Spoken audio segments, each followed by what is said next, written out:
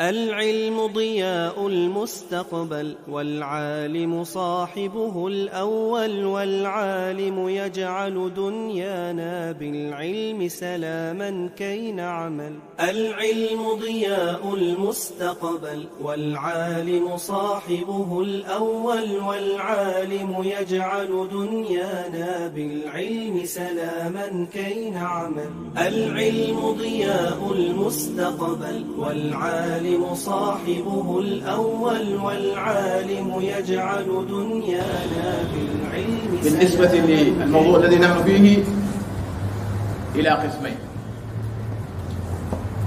إنشائي خبر إنشائي وخبر ابتدائي ثم طلبي. أو ابتدائي لا طلبي. طلبي وإنشائي. بهذا التقسيم الثنائي هنا. طلبي فرقوا بينه وبين الإنشاء أن الطلبي تستطيع أن تقول لصاحبه الذي أخبرك أو لصاحبك الذي أخبرك أن تقول له نعم. تهز رأسك إذا كان عندنا هنا أمام أو أعلى وأسفل هكذا. هذا معنى قبول عندنا. ولقد أخبرونا أن في بعض البلاد لا. لا معناه هكذا ونعم معناه هكذا. ليست هي اللغة. صحيح أو غير صحيح؟ أما عندنا هنا نعم هو هكذا رأس الأعلى إلى أسفل هذا معنى الموافقة. فإذا كان وصل بهذا الخبر إلى ما يمكن أن تقول له نعم وتهز رأسك هكذا هذا يقال له خبر. لأن نعم أو لا متعلق بالخبر. صادق أو ليس بصادق فقط في هذا الخبر. هذا الذي يبحث فيه في الدليل. في الدليل يبحث عن شيء يصل وهو مطلوب مطلوب ويصل إليه فيكون نعم أو يكون لا. وليس إنشاء القسم الثاني والإنشاء هو ما لا تستطيع أن تقول لصاحبه نعم أو تقول له لا. وهذه درسناه كثيرا ودرستموه وعلمتموه في النحو أن في النداء أو في الصرف وكل مباحث اللغة المتعلقة بهذا الموضوع. لو أحد ناداك يا فلان هل تستطيع لو صدقت بالنداء؟ لا. حتى لو ناداك باسم غير اسمك لا تقول له كذبت. تقول فقط أنني لست لست ذاك. لو ناداك بزيد وأنت عمرو تقول له لا أنا عمرو لست لست زيدا. فقط. لا تقول له كذبت ولا تقول له صدقت. إذا هذا هو دليل في الاصطلاح عندهم أنه كل ما يمكن أن يتوصل بصحيح النظر فيه إلى هذا المطلوب والذي وصل إليه المطلوب خبري. عندهم هكذا. قلنا إن لهم هدف ولهم قصد في تركيب هذه التركيبات فنحفظ ما ركبوه لنا ونحاول أن نفهم ما أرادوه منه. قال أدلة المذهب. المذهب ليس حزبا. انتبهوا ليس حزبا. وليس جمعية أسسها أحد من هؤلاء الكبار. وليست مؤسسة فقهية أو مؤسسة أصولية أيضا. أنا لا أعلم أحدا منهم قال تعالوا أسست مذهبا. لا بل علم الناس ومعه ناس علماء معه. واستدلوا لأن هذا العلم الشرعي لا يصلح فيه إلا دليل. الحكم لا تصل إليه إلا بدليل ولا يجوز أن تحكم أيضا إلا بدليل. فاستخدموا هم أدلتهم. استدلوا على أحكام وكان معهم ناس بعضهم مثلهم. وافقوهم أن هذا نعم دليل يستخدم للاستدلال. وافقوه لما كانت الأمور تنسب في غالب الأحيان سموه مذهب وهو مذهب ومذهب معناه في الدين من ذهب إلى رأي من الآراء فمن ذهب كلمة ذهب يعني أخذ. من ذهب إلى رأي من الآراء ورأى هذا الرأي يقال له رأيه الذي رآه وذهب إليه يقال مذهب فلان. مذهبه أي رأيه في المسألة. هذا الأصل فيه. وليس حزبا كما قلت وليست جمعية ولا مؤسسة. ناس يشتركون فيها يسجلون فيها بأسمائهم. لا. إنه هذه طريقة. رأي اتبعه فلان وكفاك وأقنعك أو اقتنيت اقتنعت بهذا الرأي وأخذت به. إذا أنت مثله في الأخذ بهذا الرأي. أنت مثله في العمل بهذا الرأي. فالسابق في الغالب هو الذي ينسب إليه. فالسابق في الغالب هو الذي ينسب إليه. المتميز آه، في الرأي هذا هو الذي ينسب إليه. وكما قلت إذا لاحظتم في المصطلحات الشرعية التي مر بنا كثيرا في تاريخ التشريع في فترة من فترات العلم الشرعي كان في المدينة سبعة علماء كان في المدينة سبعة علماء متميزين مبرزين.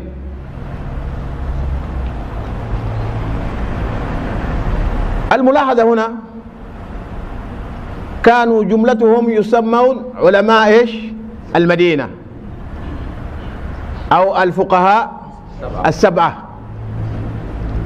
ما قالوا أبدا مذهب فلان. هذه ملحوظة خذها. إذا فيها فائدة خذها. ما فيها فائدة اتركها من هنا. لكن أنا أرى أن هذا يفيدنا من خلال التاريخ التشريع. حتى نعرف بالتأكيد لأن بعضنا يظن أن المذهب عبارة عن آه، مؤسسة جمعية كذا نشترك فيها.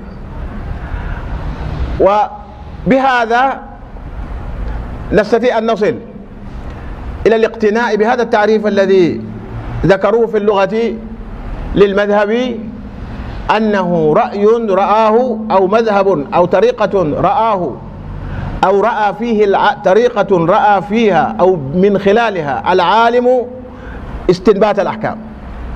واتبعه. بدل سموها طريقة لأن الناس الآخرين فيما بعد سموا سموا أمرهم طريقة فهم ذمه مذهب ما ذهب إليه. وكلمة صارت مستخدمة كثيرا. هذا ما ذهب إليه مالك هذا ما ذهب إليه أبو حنيفة هذا ما ذهب إليه إمام أحمد هذا ما ذهب إليه هذا ما ذهب إليه. فصار المذهب. ما دام ذهب إليه صار مذهبه. نعم. هذا هو المذهب. وكلمة عربية صحيحة هي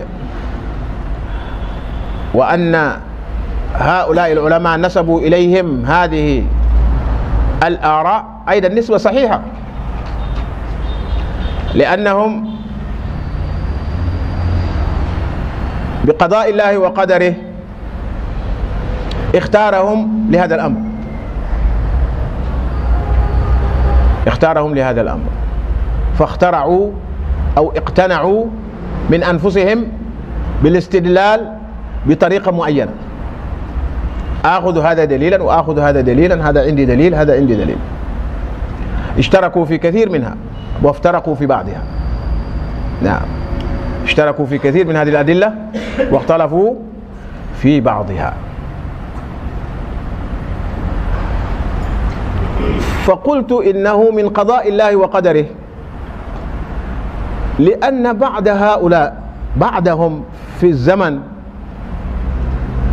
وخاصة المت... الزمان المتأخر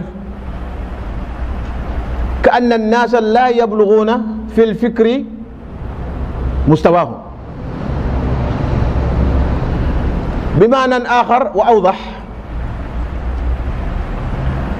مذهب الإمام كما ذكر الشيخ رحمه الله ستة عشر.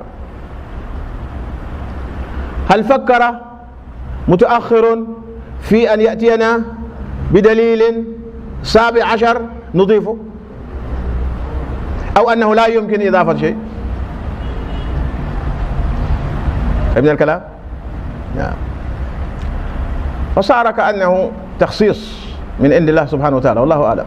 خصهم هذه المنزلة وهذه الدرجة من العلم والقبول فقبل الناس منهم.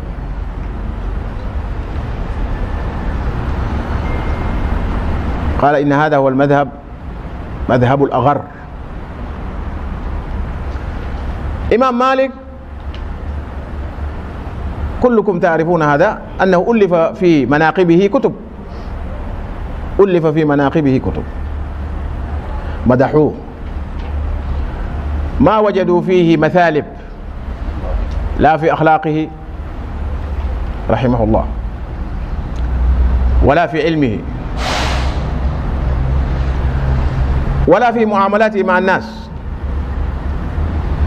ولا في عبادته. فتكلموا في ورعه وفي عبادته وفي حبه للرسول صلى الله عليه وآله وسلم.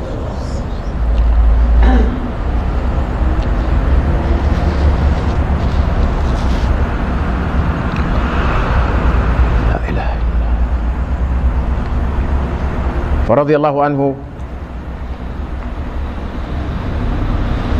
وصفه الرجل بأنه الأغر. الغرة في الأصل اللغة بياض في الوجه. الوجه ولو كان أسودا أول ما يطالع على المقبل الوجه. حتى لو كان أسودا. فما بالك إذا كان أبيضا؟ نعم. متميز يقول لك.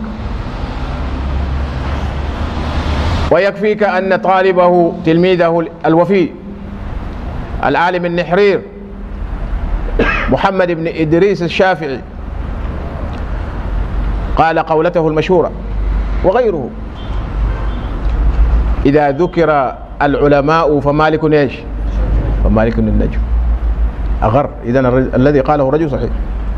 يوافق إمام شافعي. طبعا إمام شافعي قال الأغر من طريقته أنه نجم لكن هو تابع إمام شافعي في إثبات أن إمام مالك هو الأغر. فنتدارس سيرته رحمه الله. يجب مدارسة سيرته للاستفادة منه.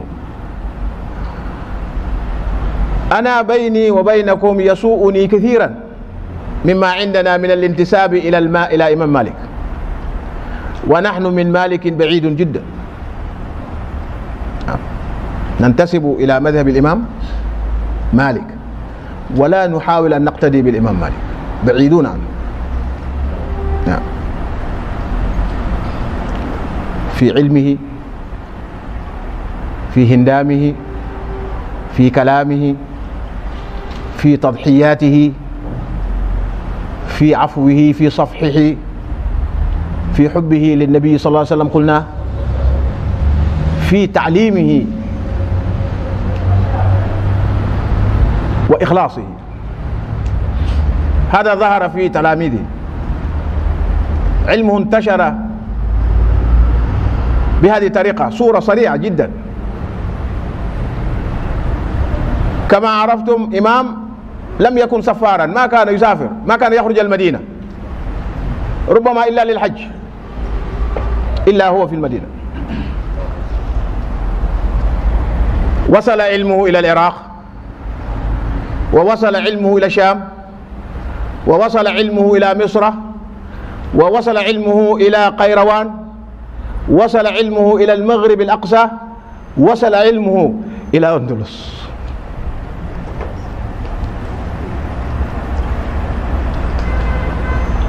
فما الذي أوصل علم إمام مالك؟ ما خرج المدينة أبدا. ما خرج الجزيرة العربية كلها هكذا. علمه وصلت سافر علمه إلى هذه الأماكن كلها.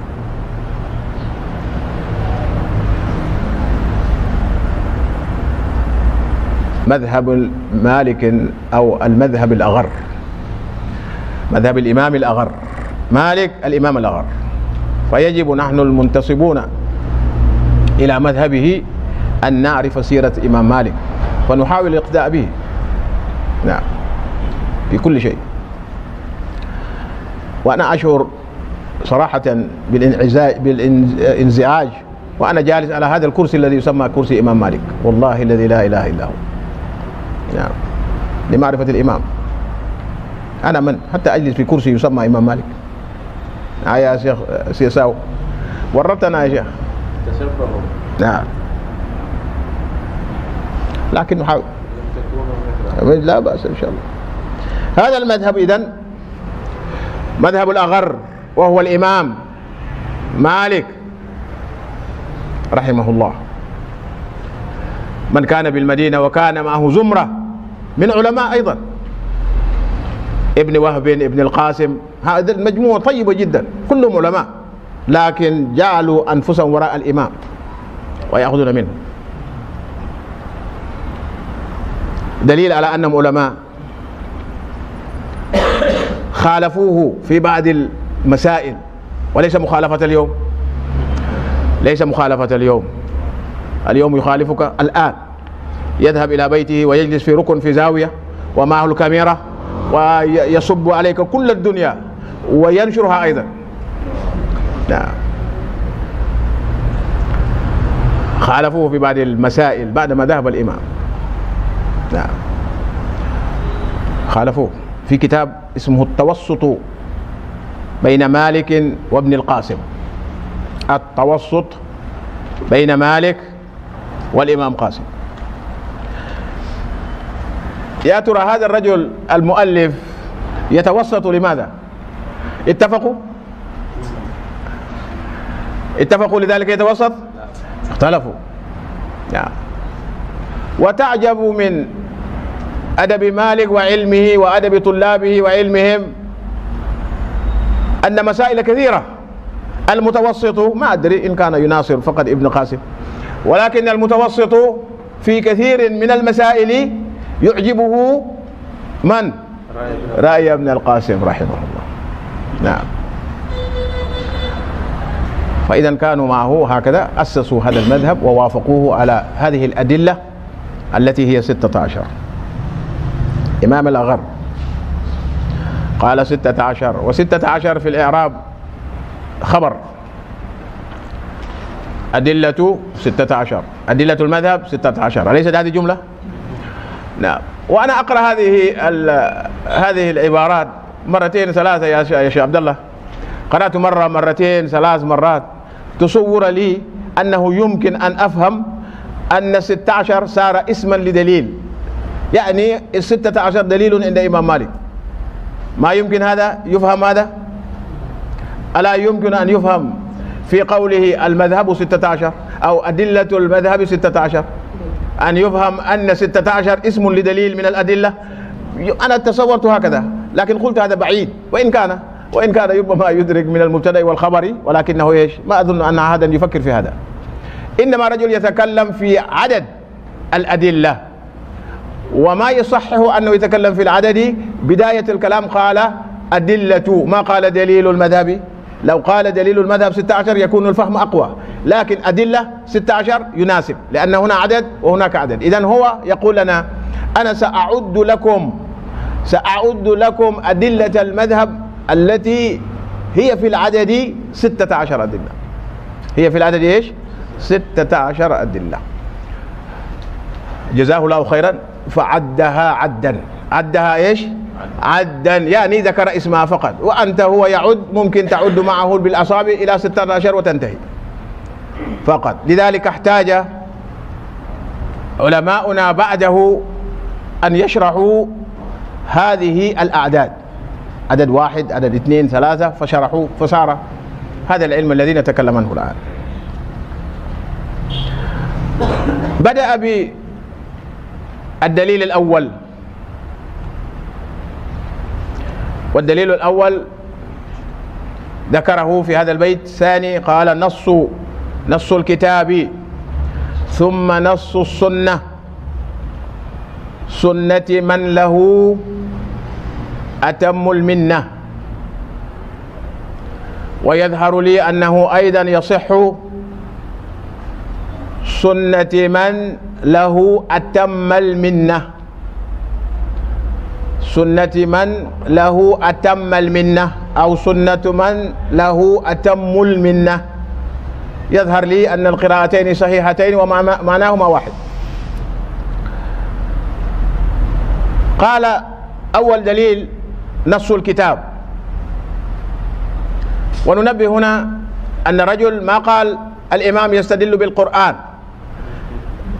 نعم.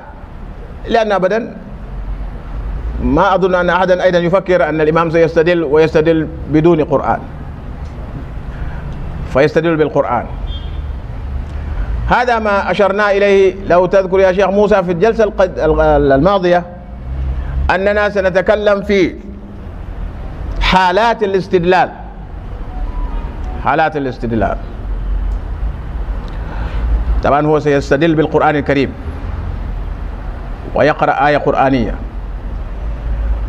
هنا شيخنا الناظم لا يقول نعم قرآن فقط ولكن سمى الدليل وجه الاستدلال يبينها لنا. أن الإمام هنا ومن وافقه واستدل بهذا الدليل بهذه التسمية سموها نص. قال نص الكتاب. يستدل من القرآن الكريم بما كان نصا. بما كان إيش؟ نصا. بما كان نصا. قرآن وهو نص. النص الشيء المرتفع في اللغة. نص ينص نصا أو نصصا أو نصوصا كلها يرجع إلى معنى الارتفاع. قال امرؤ القيس وجيد كجيد الرئم ليس بفاحش إذا هي نصته ولا بمعطل. الشاهد فيه؟ إذا هي نصته. نصته يعني رفعته. يكفينا من هذا البيت. فقط معرفة نصته. وإلى المعنى الإجمالي أن امرؤ القيس معروف عندكم شاعر مجيد يسمى ملك الشعراء يصف امرأة ووصل إلى جيدها الجيد الرقبة. الجيد الرقبة. الرجل كما عرفتم زينته في رأسه لحيته. لحية يزين الرجل. مرأة ما لها لحية ولكن رقبتها أيضا محل زينة. رقبتها إيش؟ محل زينة. طيب يا امرأة القيس تقول إنها جميلة؟ قال نعم جميلة. كيف؟ قال لها هذا الجيد. لا رقبة. قال رقبة مرتفعة. لأن القصر في الرقبة عيب أو نقص في جمال الإنسان هذه الإنسانة. قصر رقبتها هذا عيب في جمالها. إذا الجمال الكامل فيها أن تكون رقبة إيش؟ طويلة. مثل ماذا؟ قال كجيد الرئم. الرئم هذه حيوان الرئم. حيوان يشبه الشعراء ما لطف أو جمل عندهم من المخلوقين خاصة النساء. يصفونهم بأنها ضبية بأنها رئم بأنه كذا. نعم. لطيف وجميل هو في شكلها في عالم الحيوانات جميلة. لكن لو كان إنسان رئما ما أظن أن أحدا منكم يسكن مع زوجة رئم في بيته. في عالم الحيوانات جميل. فهذا الجمال الذي ينقله ابن امرؤ القيسي بأنها جميلة. جميلة إيش؟ أين مكانها؟ قال جيدها مرتفع. وهنا نحن نستفيد منها فقط كلمة إذا هي نصته أي إذا خرجت بجيدها فإن الجيد آه، آه، جميل وطويل وليست معطلا أي أنه ليست فقيرة. ليست فقيرة هذه المرأة لها حلي. يضعها هنا في إيش؟ يتزين بها في جيدها، ليس جيد لا تخرج بجيد كذا بدون بدون حلي. فأخذنا منه كلمة النص على أنه المرتفع. نص كتاب الله أو نص الكتاب فكتاب الله هو القرآن الكريم المنزل على محمد صلى الله عليه وسلم بواسطة جبريل عليه السلام المتعبد بتلاوته المعجز المتحدى به هذا القرآن الذي عرفناه كثيرا اذا يستدل بالقرآن واستدلاله يكون بالنص من القرآن الكريم. قال ثم نص السنة. أيضا يستدل بالسنة واستدلاله بالسنة يكون إيش؟ يكون نصا أيضا. والسنة كما عرفتم لا نريد أن نقف كثيرا على هذه الكلمات المعهودة لكن موجودة مذكورة فنمر عليها كما يقولون مرور كرام. سنة السيرة والطريقة. السنة سيرة وطريقة. يقول شاعر لبيد أو لبيد من معشر سند لهم آباؤهم. من معشر هو يتفاخر بجماعته.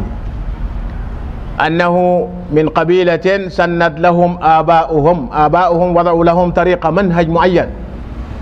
ولدوا هم وتربوا على هذا المنهج. طبعا لا يقصد أنهم تربوا على الخوف والخور والضعف وكل واحد يستهين بهم ويحتقرهم. لا لا ليس لسبب هذا يذكر. يتفاخر هو. من معشر سند لهم آباؤهم. ولكل قوم سنة وإمامها. وشاهد في هنا سند لهم. ولكل قوم سنة أي طريقة وسيرة يمشون عليها. كل واحد منكم من أي منطقة من البلد هنا إذا جد الأمر يقول لا نحن هنا نحن عندنا نحن عندنا. هو الآن شاعر هذا اللبيد يقول إنهم أيضا آباؤهم سنوا لهم سنن. والحديث أو السنة كما عرفتم ما قاله النبي صلى الله عليه وسلم أو فعله أو قرر عليه ويزيدون ما كان منه خلقا وما كان منه خلقا. كل هذا أدخلوه في سنة النبي صلى الله عليه وسلم وهو داخل فيه أيضا. لكن قوله وفعله وتقريره مشهور أن هذا هو إيش؟ السنة. ودخل في فعله ما كان من خلقه ومن خلقه حتى إن شاء الله. دخل فيه. أنه الله خلقه هكذا فكان سنة. وتخلق بخلق أيضا فكانت سنة. وفعله. إذا فعله من اختصر بفعله أدخل فيه أيضا الخلق والخلق ولا يخالف. هذه سنة النبي صلى الله عليه وسلم. فكل ما كان قولا له أو فعلا له أو تقريرا له هذه سنة. هذه سنة الدين. تنبيه فقط. لأن من يسمون بالفقهاء وربما نوافق فقط أنهم فقهاء للاصطلاح فقط. استخفوا إذا صح هذا التعبير أو تساهلوا في إطلاق كلمة السنة لأمر عندهم على المستحب لأجل تقسيمات كثيرة في مرحلة من المراحل سموا المستحب سنة. وإذا كان مستحبا أو مندوبا إليه لا يترتب عليه كبير العناية من كثير من الناس. وسماها سنة. هم فهموا الذين وضعوا فهموا هذا الاصطلاح فهموه. لم يستهينوا أبدا بسنة. ولا أفكر أنا أنهم استهانوا بالسنة لكن لما طال العهد صار الناس لا يطلقون السنة إلا على شيء يهجرونه يتركونه. لا لا لا يا شيخ لا تطيب الناس هذه سنة فقط وفقط. هذا التعبير نفسا لو لو لو تدقق فيه سنة وفقط ما يصلح. نعم ما يصلح أبدا. لذلك أنبه على أن سنة الدين لأنه قول النبي صلى الله عليه وسلم أو فعله صلى الله عليه وسلم أو تقريره صلى الله عليه وسلم. ماذا بقي لك؟ قاله فعله قرره ماذا تنتظر؟ تترك؟ أبدا. كثير منهم يحتجون عليكم لما تريد أن تخرجه من ورطة بدعة من البدع. وجد آباءه أجداده عليه.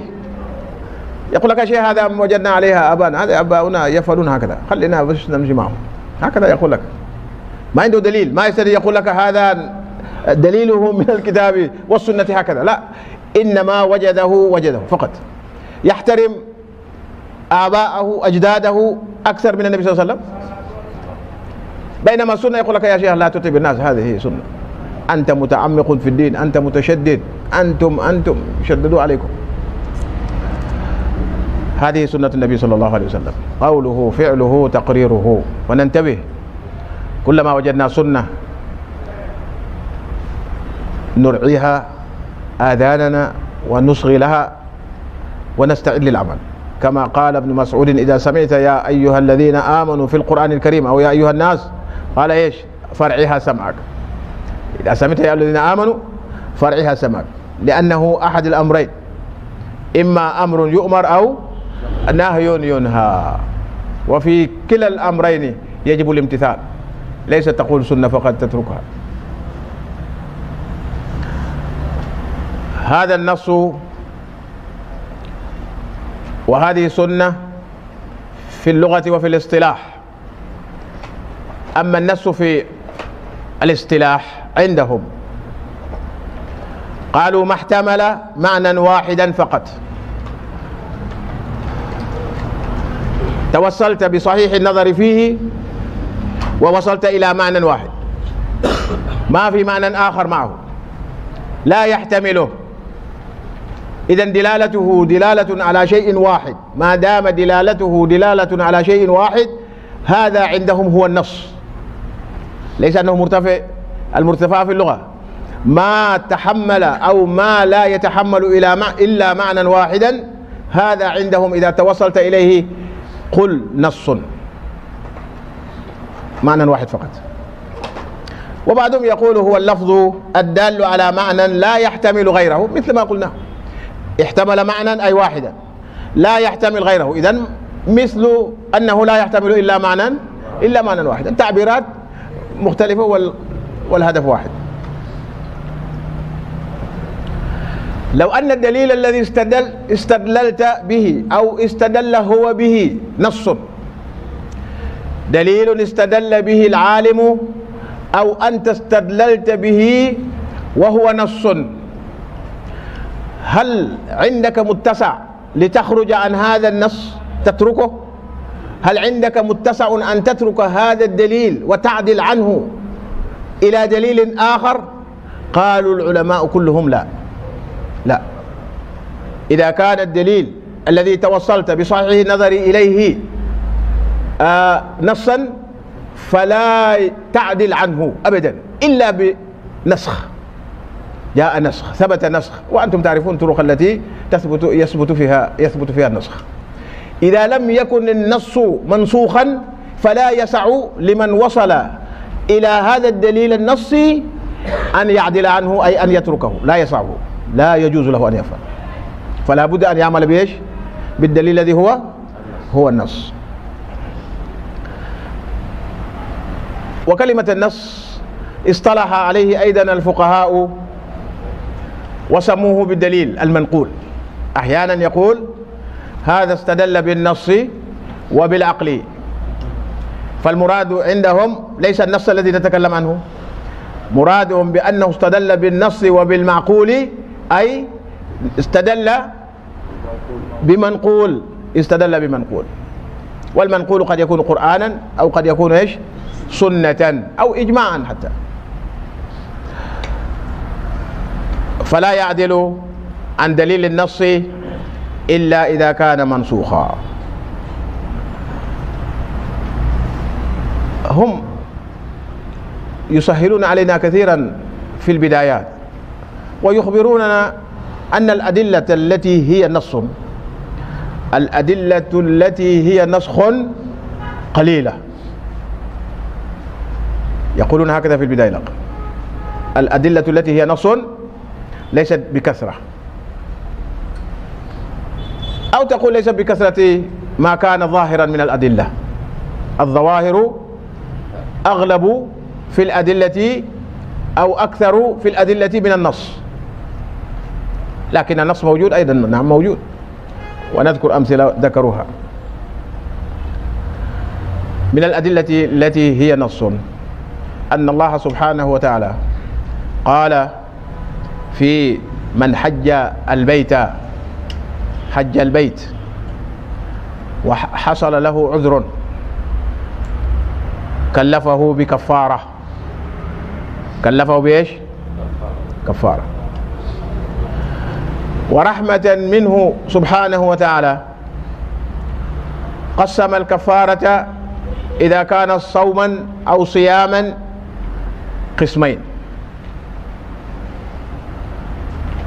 لأنه حاج وغريب ليس في بلده وفي عمل الحج وعمل الحج معروف أن فيه تعب بدني وتعب عقلي ومالي كل شيء موجود فيه.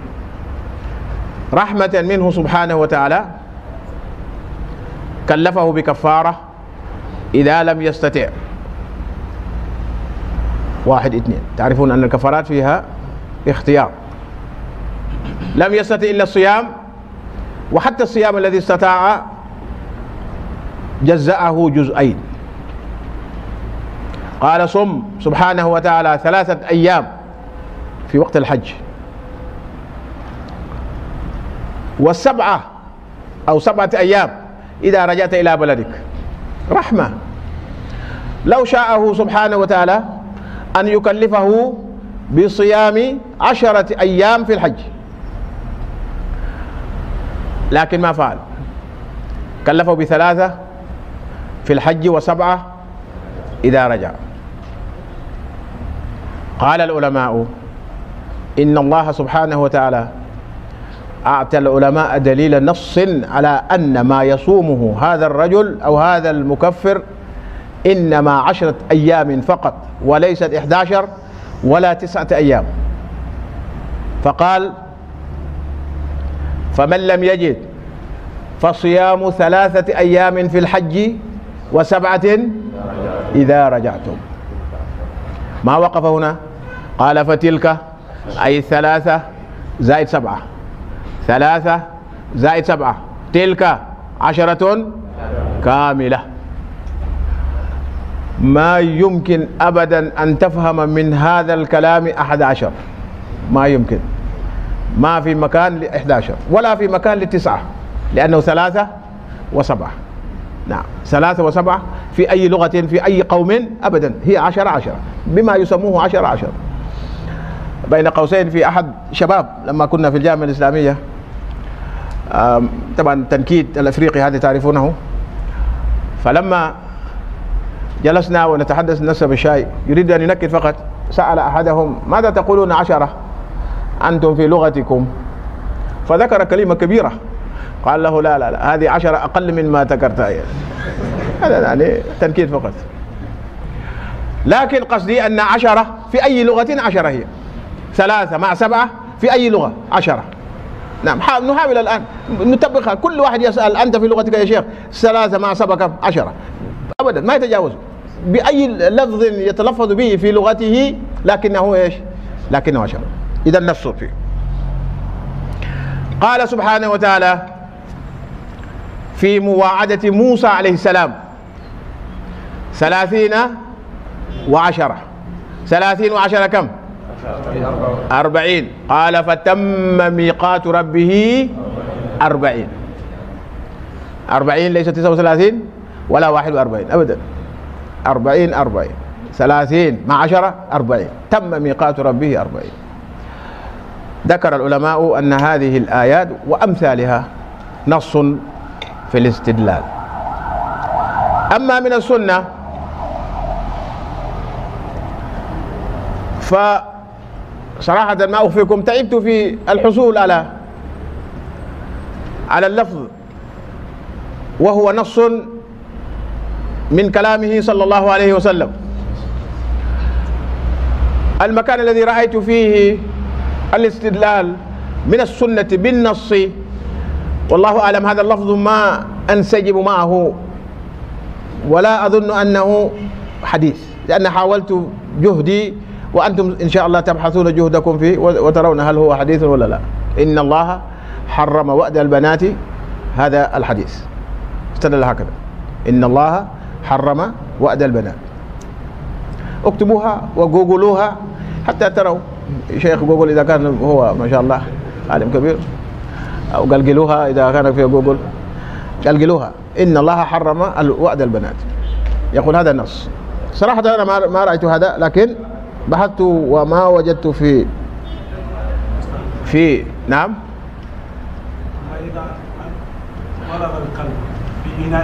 ما تسجل السؤال بعدين نأتي.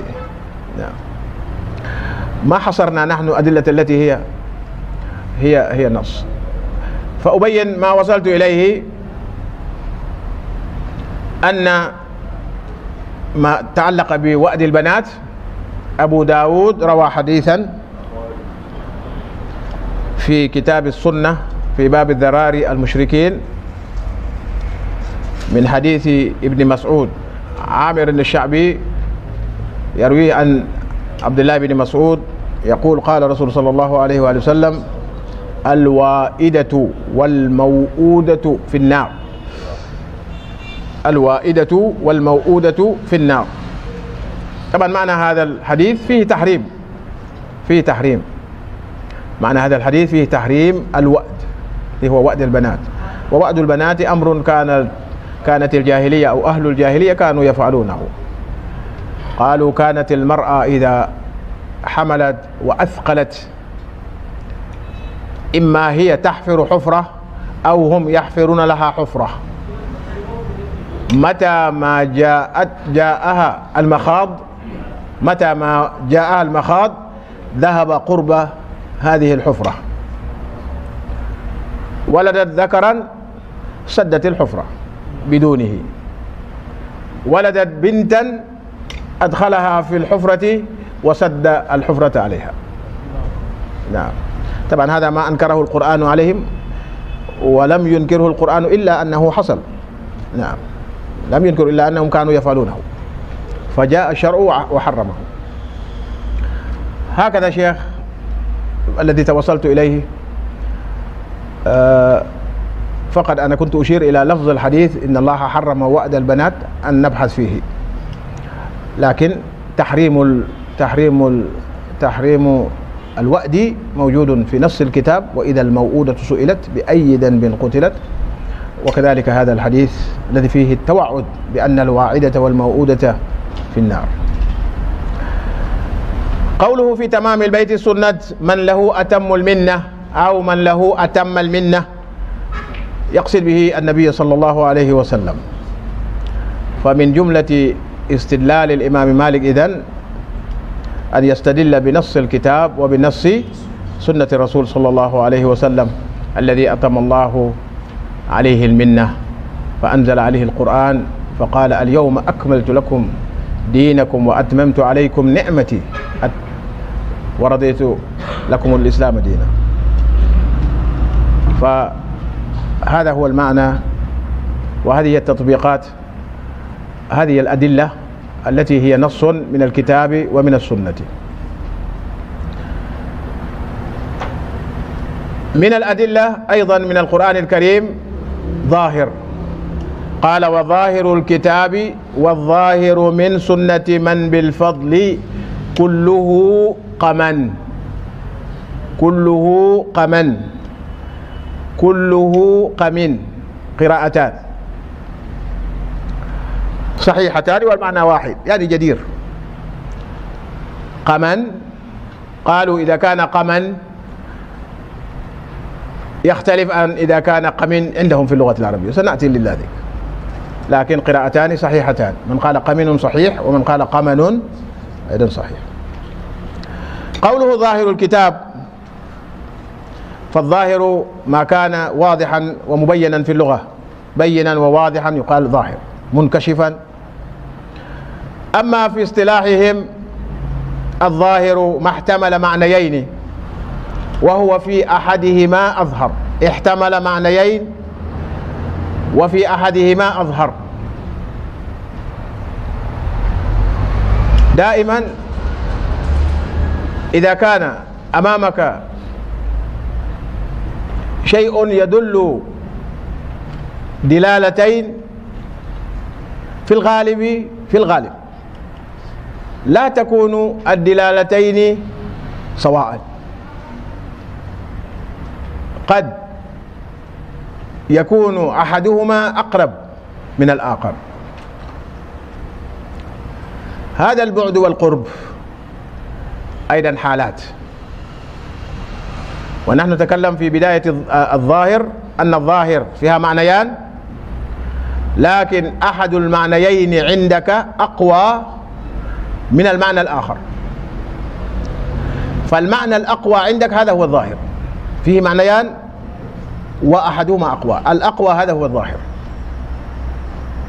ويقال في الظاهر أيضا ما يسبق إلى الفهم منه عند الإطلاق معنى إذا سمعته فقط يتبادر إلى ذهنك معنى فيقول هذا هو الظاهر. المعنى الذي يسبق عندما تسمع عند الإطلاق ما يتبادر إلى ذهنك قالوا إن هذا يكون هو إيش؟ يكون هو الظاهر. حتى الآن فيها معنيان. ما تبادر وما لم يتبادر فما لم يتبادر معنى وما تبادر معنى. إذا حتى الآن ظاهر ملتزم بأن يكون بين معنيين. وقالوا هو اللفظ الدال في محل النطق في محل النطق دل على معنى. دل على معنى في محل النطق. دلالة معنى في اللفظ يختلف عن دلالة معنى في محل النطق. فيقول ما دل على معنى في محل النطق هذا يسمى ظاهرا. يسمى ظاهرا. وإن دل على معنى في محل النطق ولكنه يحتمل أيضا معنى آخر. ها. فجاء الظاهر على معنيين. في كل هذه التعبيرات الثلاثة وهي التعبيرات الأصوليين من بين متكلم هكذا أو متكلم هكذا قصدهم وملخص كلامهم أن الظاهرة دائر بين معنيين هو في أحدهما أقوى من الآخر فما كان قويا فهو إيش؟ فهو الظاهر. طيب إذا كان عندك هذا الدليل الذي هو الظاهر ثبت عندك وقوي هذا الاحتمال عندك هل تتركه أيضا وتذهب إلى الدليل الآخر الذي لم يظهر؟ هذه جواب لا يكون مثل النص. النص لا يجوز. تترك النص إلى غيره لا.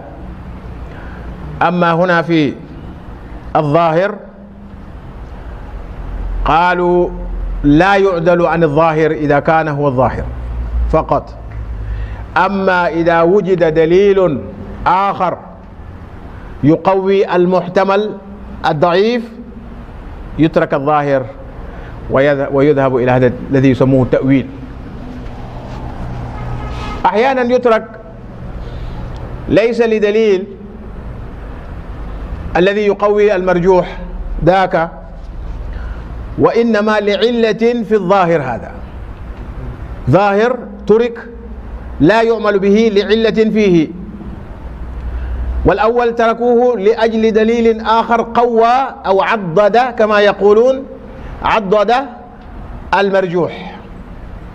فبتعضد المرجوح يترك الظاهر ويؤخذ بهذا المرجوح الذي اسمه الآن المؤول يترك لأنك إذا تركته عندك دليل في ذلك. إذا سئلت لماذا تركت الظاهر تقول لأنه كذا. لا بد تأتي لأنه. لو شخص ما سافرت معه وهو كان قد سافر إلى هذا المكان مرة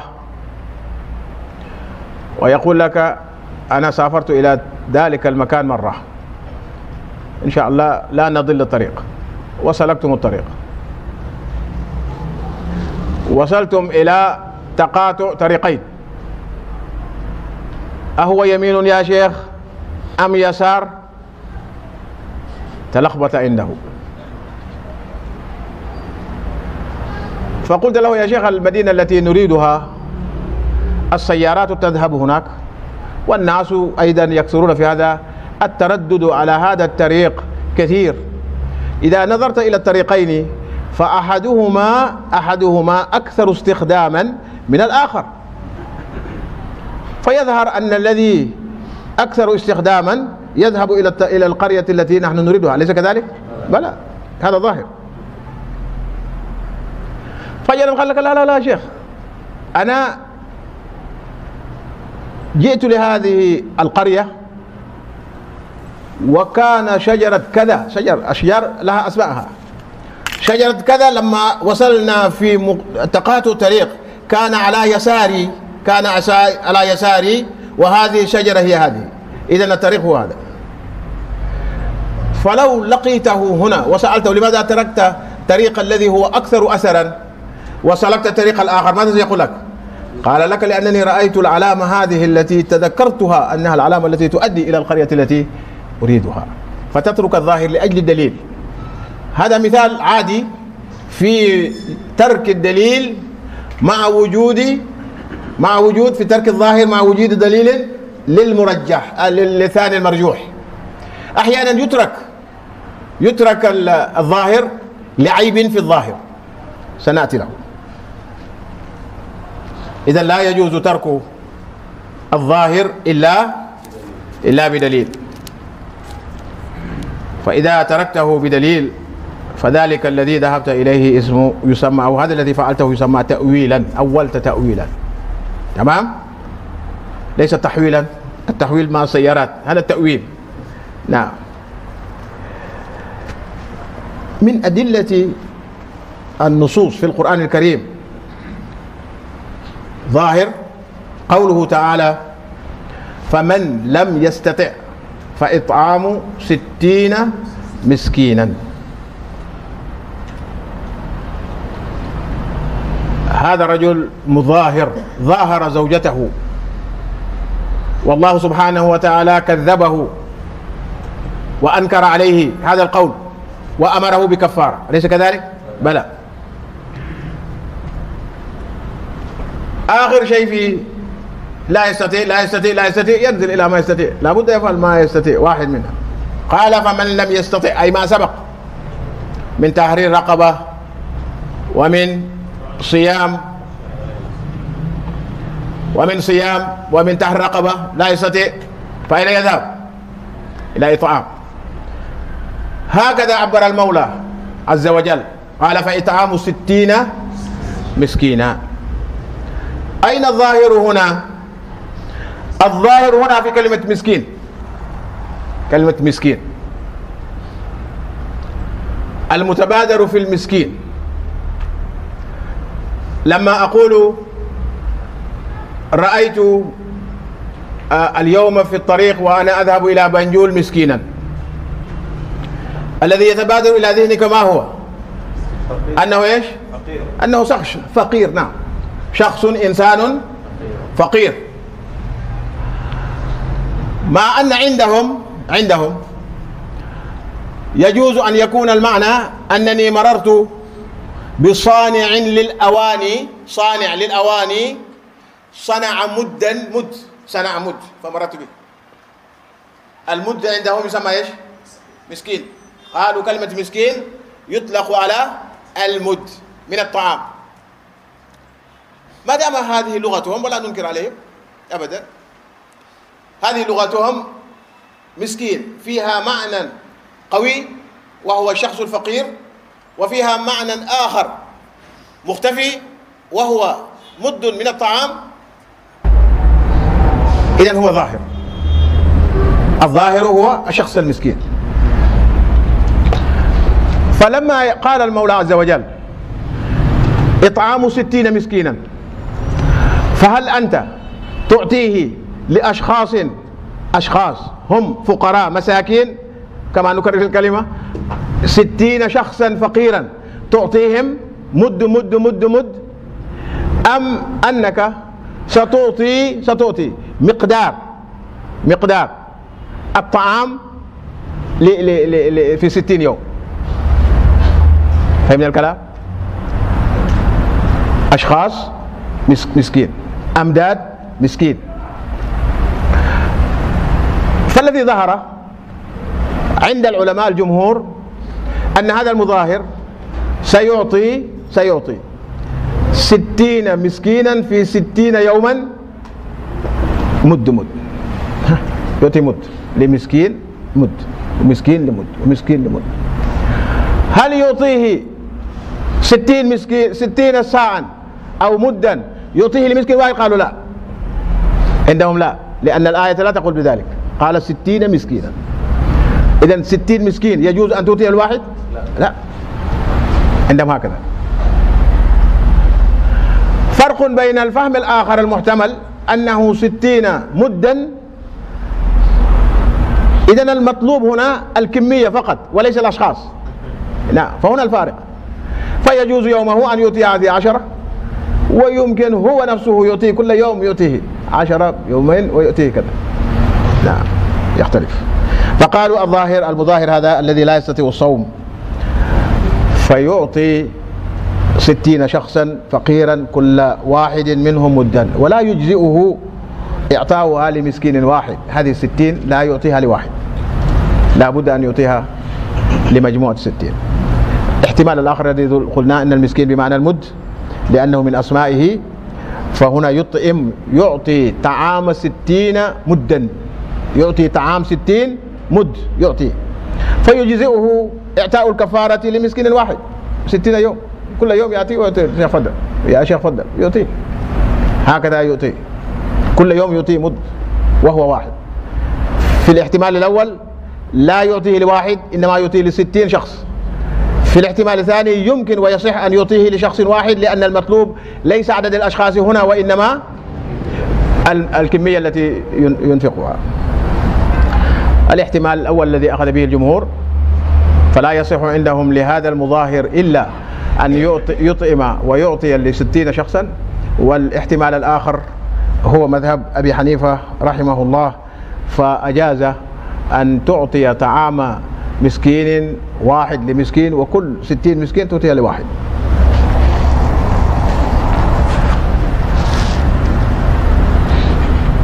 فقوله هذه هذا الظاهر أو استدلال بالظاهر من الكتاب واستدلال للظاهر من السنة.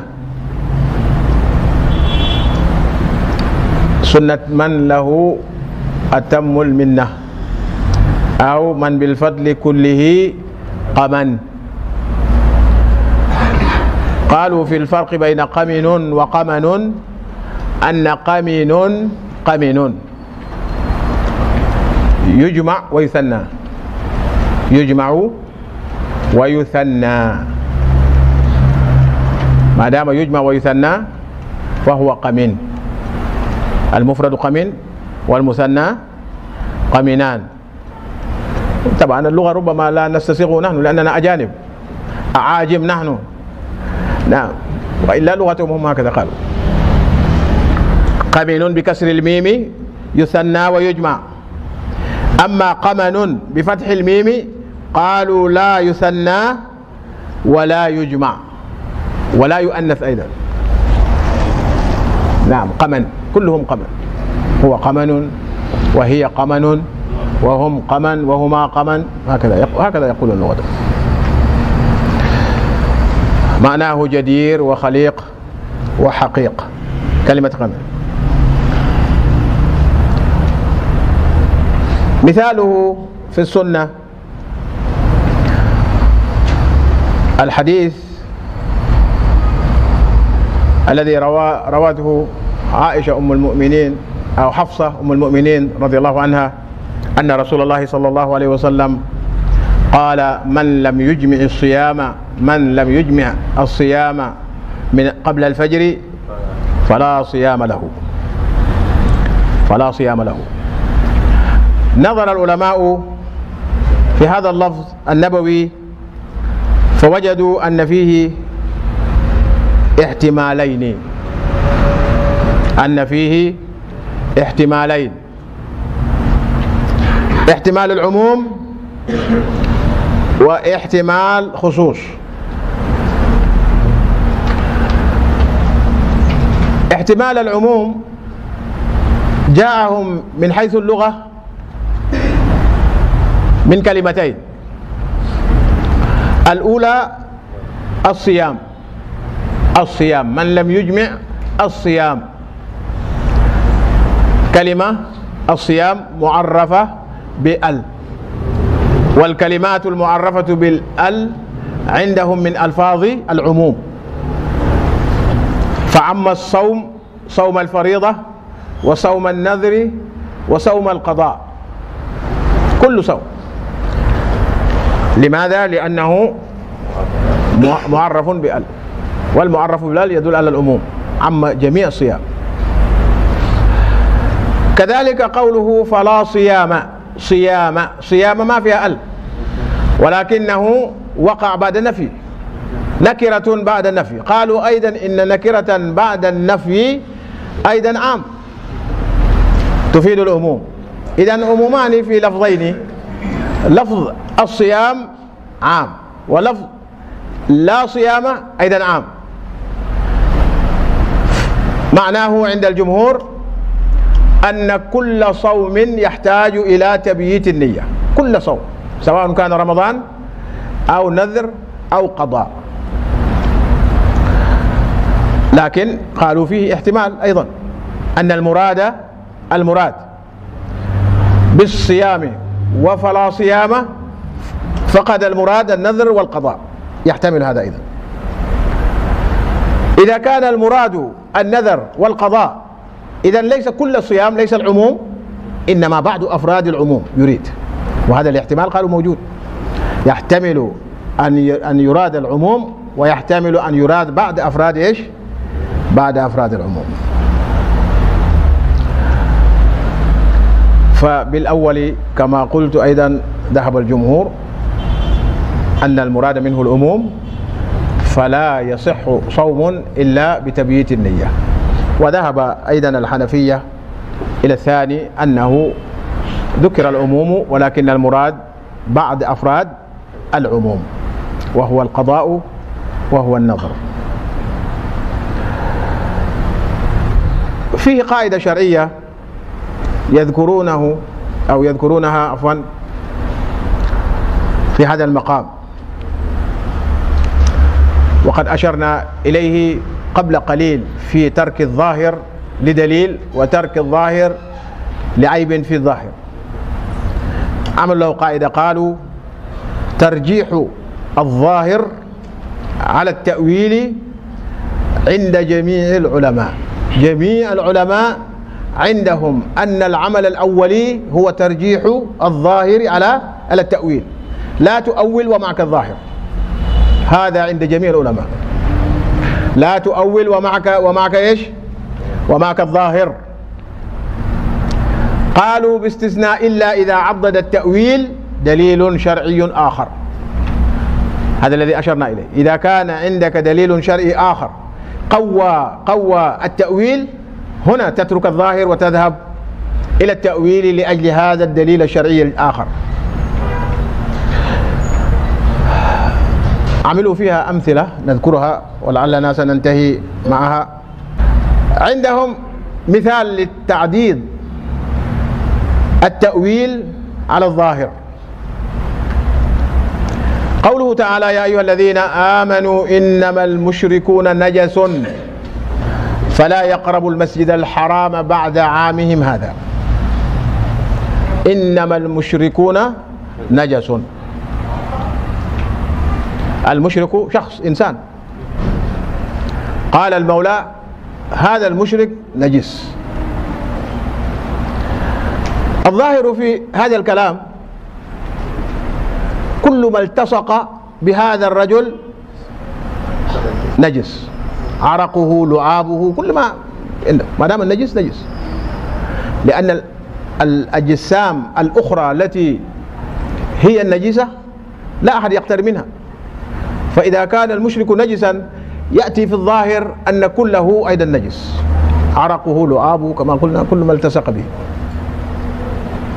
فيكون نجاسة حسية. نجاسة إيش؟ حسية. هذا الظاهر. لكن في احتمال أن النجاسة ليست نجاسة إيش؟ حسية إنما هي نجاسة معنوية. يعني الشرك نجاسة وهو مشرك.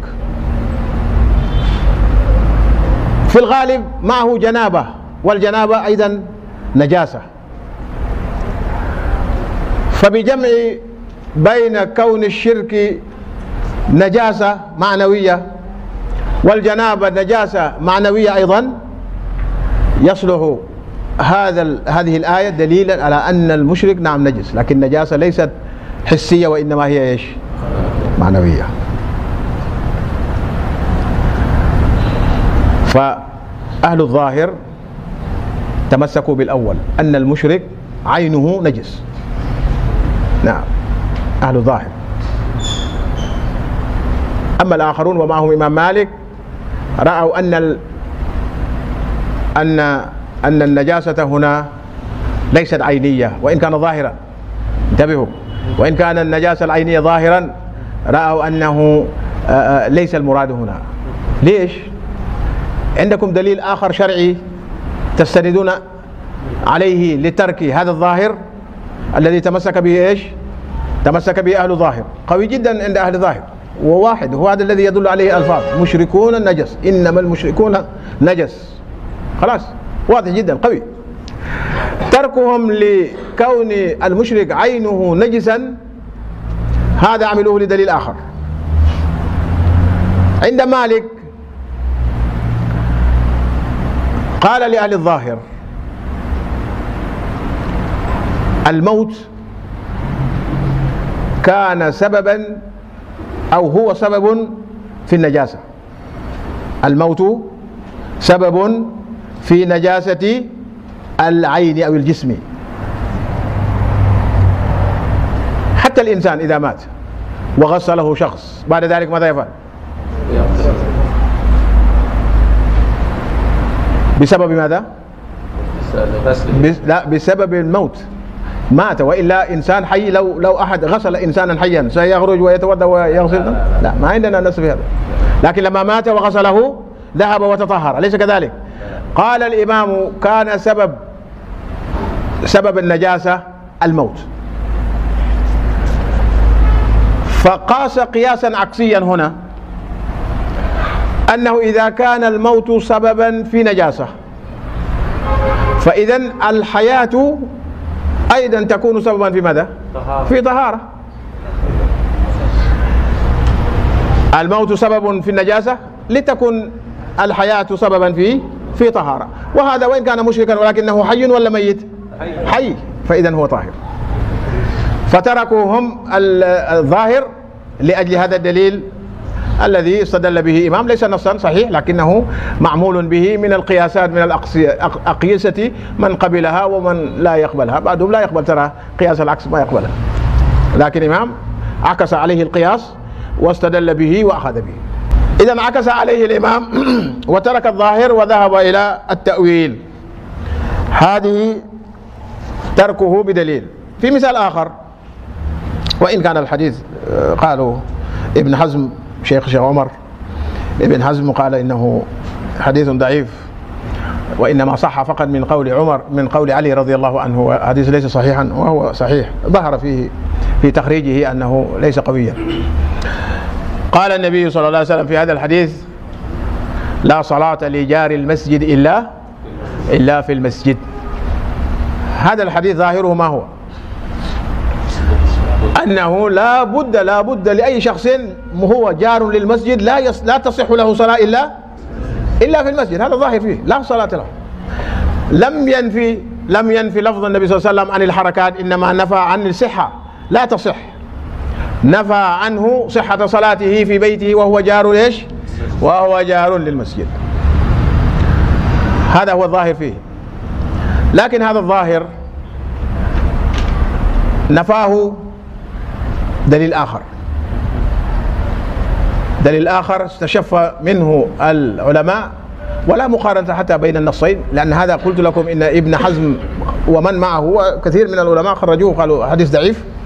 أما الذي أيضا فهم منه العلماء دليل الآخر هو حديث صحيح في البخاري وفي مسلم. من حيث الصحة لا تقارن بين لا مقارنة بين الحديثين. لكن هنا نتكلم عن آه، ترك الظاهر لأجل دليل آخر عدده. عدد الاحتمال الآخر. الاحتمال الآخر في لا صلاة ليس نفي الصحة وإنما نفي كمال أجر الصلاة. نفي كمال أجر الصلاة. هذا احتمال آخر. وهذا الاحتمال بأنه هو نفي كمال أجر الصلاة. هذا الذي أخذ به العلماء عددوه بدليل آخر. دليل آخر أن النبي صلى الله عليه وسلم قال صلاة الجماعة تفضل. تفضل. صلاة الفذ بكم؟ بسبع وعشرين درجة. فقالوا نعم. إذا صلاة جار المسجد في بيته صحيحة. لماذا؟ قالوا لأن هذا الحديث قال تفضل. تفضل. تفضل يعني تزيد عليه. في الفضل. تزيد عليه في إيش؟ في الفضل. فهما مشتركان في الفضل. صلاة جار المسجد في بيته له فضل. وصلاة في الجماعة في المسجد له فضل وتشاركا لكن أخيرا فضل صلاة في المسجد على الصلاة في في البيت. وهما مشتركان في الأصل. في الفضل مشتركان. قالوا خلاص. كونهما مشتركتان في الفضل يمنع عدم صحتها. إذا هي صحيحة وإنما في الأجر ناقصة عن صلاة في في المسجد. بهذا الدليل أخذوا وتركوا الظاهر الذي كان معه. هذا العمل أخذ بالظاهر وتركه لأجل دليل آخر. قالوا هذا فيما يكون فيه الترجيح لكن إذا لم يكن في الظاهر نفسه عيب ما يمنع من أخذه. أحيانا بعد الظواهر فيه ما يمنع من أخذه. فيترك لأجل ما يمنع من أخذه لا لأجل دليل آخر كما قلنا قبل قليل فعله العلماء. قال سبحانه وتعالى يا أيها الذين آمنوا إذا قمتم إلى الصلاة فاغسلوا وجوهكم وأيديكم إلى المرافق وامسحوا برؤوسكم وأرجلكم إلى الكعبين. قالوا الاحتمال أو الظاهر هنا أن غسل ما ذكر من الوجه واليدين والوجه لا يكون إلا عند القيام إلى الصلاة. هذا الظاهر في اللفظ. إذا قمتم إلى الصلاة فاغسلوا. إذا لا لا تغسل إلا إلا وأنت قائم إلى الصلاة. هل هكذا نفعل؟ قالوا هذا ممنوع. هذا إذا فهمناه لكن ليس ليس هكذا. فهنا قالوا يتعين يتعين تفسير إذا قمتم هنا إذا بالإرادة. تفسره بماذا؟ بالإرادة. تؤوله. تفسره تفسير. إذا قمتم أي إذا أردتم القيام إلى الصلاة فاغسلوا. ويكون مناسبا ولا لا يكون مناسبا؟ يكون مناسبا. فتركت الظاهر الذي هو غسل الوجه واليدين والرجلين عند قيام إلى الصلاة تركته لأجل هذا التأويل. فصح. مثال آخر. قال سبحانه وتعالى في قراءة القرآن فإذا قرأت القرآن فاستعذ بالله. إذا قرأت. متى تكون قارئا؟ إذا انتهيت ولا إذا إذا قبل قبل قبل القراءة؟ إذا انتهيت من القراءة. هل تقرأ بقرة كلها وتقرأ فاتحة كله وتقرأ آه، ما قدر لك حزبك كله؟ ثم بعد ذلك تقول أعوذ بالله من الشيطان الرجيم. ولا تقول آه، من يقول صدق الله العظيم؟ نعم. فلا تقول أعوذ بالله إلا مع بداية. فقالوا هنا أيضا سنترك الظاهر الذي هو قول آه، أعوذ بالله من الشيطان الرجيم أو الاستعاذة بعد القراءة هو الظاهر سنتركه ونؤول هنا أن المراد إذا قرأت أي إذا أردت القراءة أيضا. إذا أردت القراءة فاستعذ فاستعذ بالله. جاء الوقت وجئنا أيضا إلى النهاية. آه مثال واحد آخر. قال سبحانه وتعالى في رمضان فمن شهد منكم شهر فليصمه. الشهود الشهود الحضور. والشهر شهر. اسم لثلاثين يوما أو تسعة وعشرين يوم. كما قال النبي صلى الله عليه وسلم أشهر هكذا وهكذا ثم قبض هذا وهكذا. مرة بثلاث. ثلاثين ليلة هذا اسم لشهر. أو شهر اسم لثلاثين ليلة. قال فمن شهد منكم الشهر أي من حضر ثلاثين ليلة ثلاثين ليلة منكم فليصومه. فهم العلماء هم أهل اللغة هم عرب عرب. لسنا نحن آه، مثلهم فقط أبدا هم عرب. فهموا أن هذا هذه الآية الظاهر فيه أن الصيام لا يتم إلا في شهر شوال. لا يتم إلا في شهر شوال. لأن حضورك لشهر هو أن تكون حضرت ثلاثة ثلاثين يوما ثلاثين يوما. ثم بعد قال فليصمه. كيف تصومه؟ ماذا تصوم الآن؟ شوال. قالوا إذا هذا الظاهر ممنوع. ممنوع. ماذا نفهم؟ قال نرجع نرجع إلى اللغة العربية. لأن هناك تسمية الكل باسم البعض وتسمية البعض باسم إيش؟ باسم الكل. فهنا سمى الله سبحانه وتعالى الكل باسم البعض. فمن شهد منكم أي شهر يقصد شهر أي أول ليلة منها. أولى ليالي شهر شهده إذا فليصمه. ويكون صحيحا ويكون تأويلا أيضا على على ما يريدونه أو على طريقتهم صحيحة. بهذه الأمثلة بهذه الأمثلة تركوا الظاهر إما لدليل آخر شرعي أو هنا لأجل امتناع امتناع الظاهر فعدلوا عنه وذهبوا إلى التأويل. والله تعالى أعلم وصلى الله على نبينا محمد وآله وصحبه وسلم. العلم ضياء المستقبل والعالم صاحبه الأول والعالم يجعل دنيانا بالعلم سلاما كي نعمل. العلم ضياء المستقبل والعالم صاحبه الأول والعالم يجعل دنيانا بالعلم سلاما كي نعمل. العلم ضياء المستقبل والعالم العالم صاحبه الأول والعالم يجعل دنيانا بالعلم سلاما كي نعمل.